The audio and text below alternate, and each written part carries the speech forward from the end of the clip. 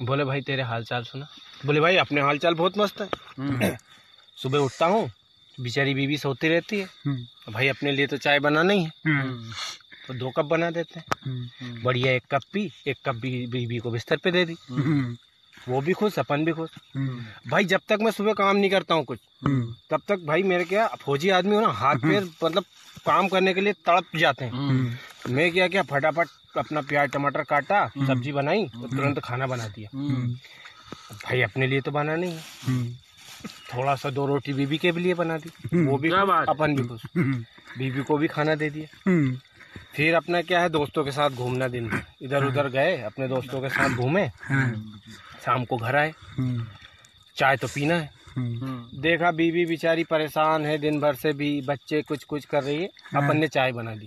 बढ़िया नहीं? अदरक अदरक वगैरह डाल के एक कप अपने ने पी एक उसको भी दे दी बीबी भी खुश अपन भी खुश। शाम का भाई साहब मेरे को किसी के हाथ का खाना पसंद नहीं है।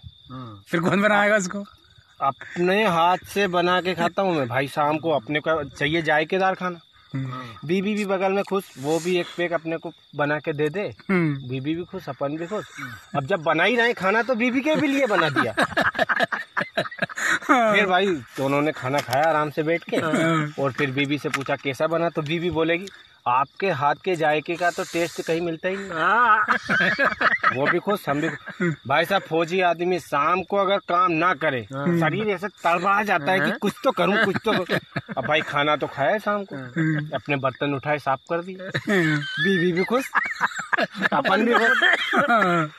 भाई साहब मेरे तो ये हाल है बढ़िया कट रही है। और सुनाओ आपके क्या हाल है? तो दोस्त ने जवाब दिया भाई साहब ज़िंदगी तो मेरी भी तेरी तरह कुत्ते की हो रखी है लेकिन बस इतनी इज़्ज़त से उसे मुझे बताना नहीं आता